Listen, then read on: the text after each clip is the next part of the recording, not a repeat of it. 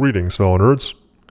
Three years ago, I showed a demonstration called Ghost Metal where I got copper metal to exhibit a ghostly glow when dipped into a solution of luminol.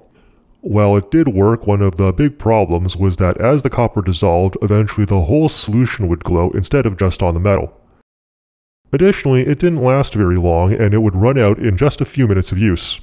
I've now developed a new solution that only glows near the metal and lasts much longer, up to half an hour. To make this solution, we start with 100 milliliters of a 5% ammonia solution. The exact concentration is not critical. To this, we add 100 milligrams of 3-aminophthalhydrazide, better known as luminol. Now we add a new ingredient, 300 milligrams of disodium ethylene diamine tetraacetic acid, also known as disodium EDTA. Shake or stir the mixture until completely dissolved. Then add 10 milliliters of 3% hydrogen peroxide. Once everything is mixed, we dilute this into 900 milliliters of water. I'm making this much for the video, but this is a lot, so you can scale down for smaller demonstrations. Now for the actual ghost metal chemistry trick. Pour out a small quantity of the solution and get a piece of copper. In this case, I'm using a penny. Turn off the lights and drop the penny in. It should exhibit a ghostly glow. What's happening is hydrogen peroxide ammonia dissolve a tiny amount of copper. These copper ions go on to catalyze the reaction of hydrogen peroxide and luminol to create this eerie blue glow. It's actually the solution around the copper that's glowing.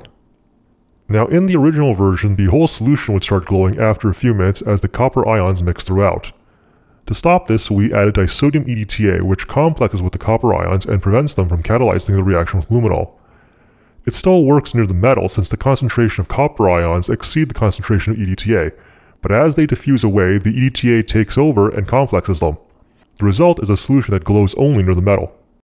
Now a fun trick to do is to pour some solution in a wide container and shape some copper wire into some words. Since it's near Halloween as I make this video, I'll go with something suiting the occasion.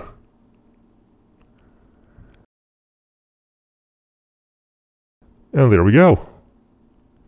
If you stir it up, it will brighten initially as the copper dissolves, but after a few moments, it'll die down again as the EDTA complexes with the excess.